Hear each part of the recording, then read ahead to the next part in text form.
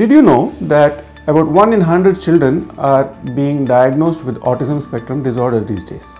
I am Dr. Avinash Kamath. I am a consultant child and adolescent psychiatrist at Manipal Hospitals, Mangalore, and today we will talk about autism.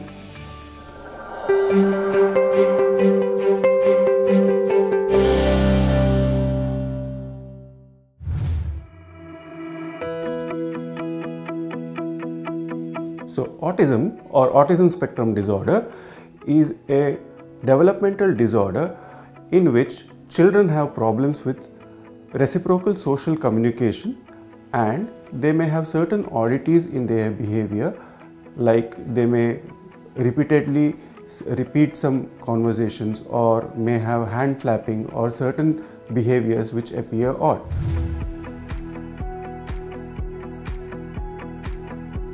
Currently, it is possible to diagnose autism as early as about 12 to 16 months. Some of the very early signs of autism are things like the child not responding when parents call the child by their child's name.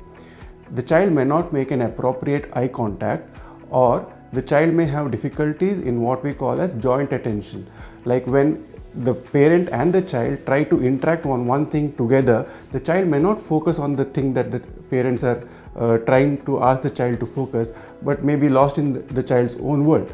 So these three things may be some very important early pointers towards uh, autism being there in a child. So it may be poor response to name calling, not making adequate eye contact and difficulties in joint attention. Children with autism may also have some amount of speech delay or abnormalities in speech like they may present with repeating the words that uh, the parents say like if the parents ask a question what do you want? they may just repeat back what do you want? instead of answering what the uh, parents have asked for. So these kind of difficulties in or abnormalities in speech or delays in speech when compared to other children is also a early sign of autism one of the important thing about autism is about its early diagnosis. So it is possible as early as about 14 to 16 months by experts to evaluate the child and diagnose autism. In the moderate to severe category of autism, it is not so often difficult to make a diagnosis within a single sitting. So parents can come to doctors, they can uh, have a evaluation by uh, giving history as well as observing the child and the diagnosis of autism can be made.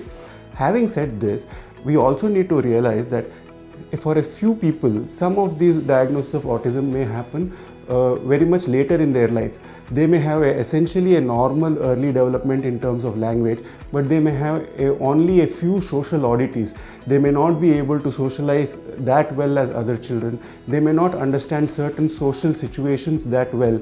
And these milder forms of autism sometimes do get missed at an earlier age, and they may be diagnosed only onto a much later time, that may be during their adolescence or in their uh, young adulthood. A child with autism definitely has a lot of interventions available.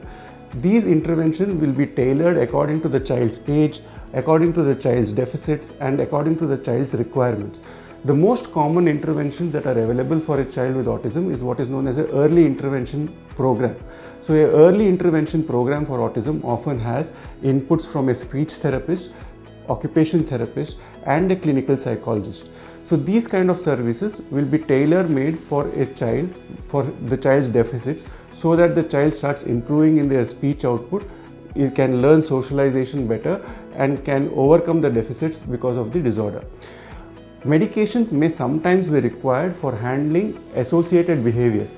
Like for example, some children with autism may have a lot of aggression or self-injurious behavior. They may bite their hand, they may hit their head against the wall or on trivial provocations may become very aggressive or irritable. These kind of symptoms may sometimes make it very difficult for the parents to take care of the child or to do any kind of interventions with these children. At those times, medications may be helpful in helping children uh, cope with this problem better. Similarly, sometimes some children with autism may have significant hyperactivity. They may not sit at one place, they may be running all over the place, they may have uh, difficulty focusing on an activity. So these kind of things may also sometimes benefit with medications.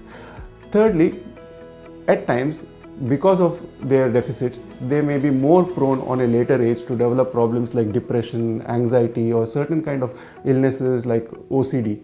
So these require a uh, specialized approach by uh, approaching a uh, psychiatrist and a specialist.